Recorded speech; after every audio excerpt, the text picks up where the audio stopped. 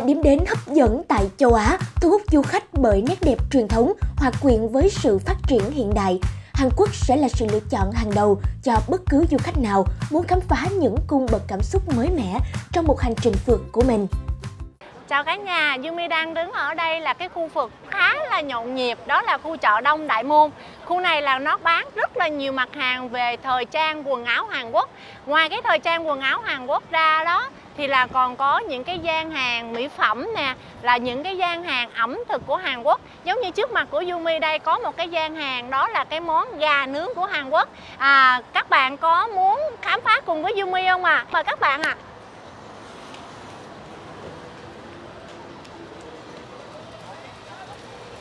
Dạ, đây là một cái món gà rất là đặc trưng của Hàn Quốc.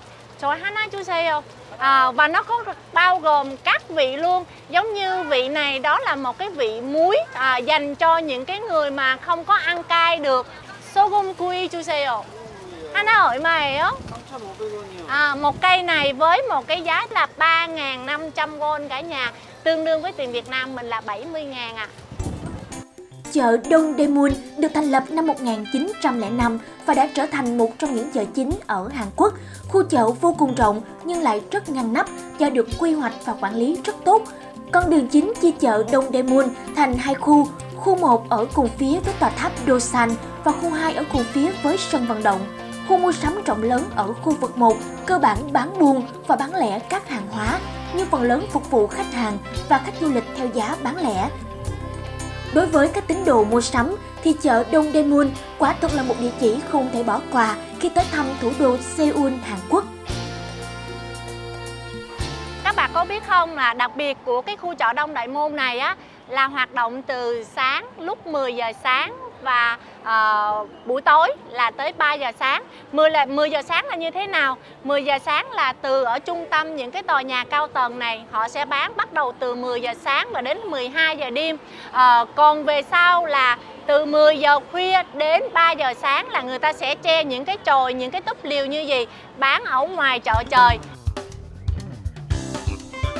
Tọa lạc ngay tại trung tâm của Seoul, Insadong là một con phố trải dài từ Jongno đến ngã tư An Quốc Đông. Dọc theo con phố xinh đẹp này là các cửa hàng xây theo kiến trúc Hàn Quốc cổ bằng gỗ và gốm.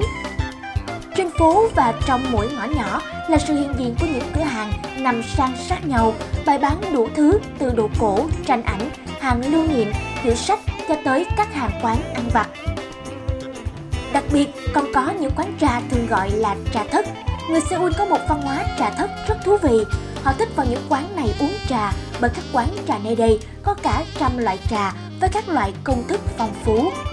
Trên con phố Insadong còn có khu shopping Samchikin được xem là địa điểm độc đáo nhất trên phố đi bộ Insadong. Samchikyu là một tòa nhà 4 tầng với hơn 70 cửa hàng. Tuy nhiên, khi du khách đi vào bên trong, tòa nhà sẽ trở thành một mê cung với những con ngõ nhỏ dễ thương.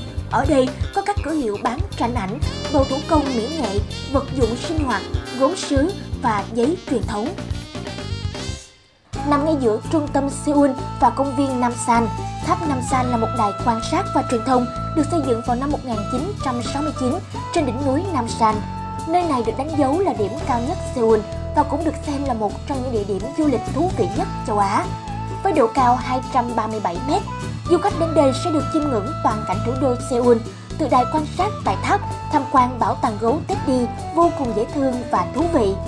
Điều ấn tượng với du khách khi tới thăm tháp Nam San đó là một không gian khác tràn đầy hơi thở của tình yêu. Khoảng sân thượng nằm ngay ở lối vào của tháp, không biết từ lúc nào trên những hàng rào sắt ở đây đã bắt đầu xuất hiện từng ổ khóa gắn kết lại với nhau như những lời thề nguyện của tình yêu. Đặc biệt, các cặp tình nhân thường đến đây mua ổ khóa đôi hoặc gạch lát tình yêu và gắn chúng vào nhau để cầu mong cho tình yêu sẽ mãi mãi bền chặt.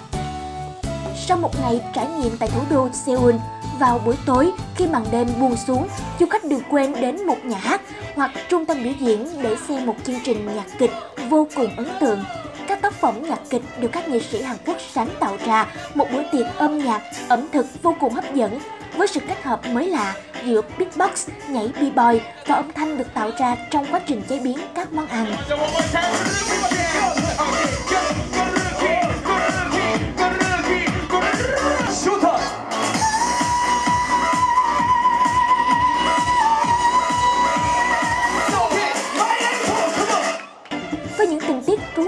Bất ngờ, chương trình đã dẫn dắt người xem đi từ bất ngờ này đến bất ngờ khác, mang đến cho du khách nhiều cảm xúc khó quên khi đến du lịch tại Hàn Quốc.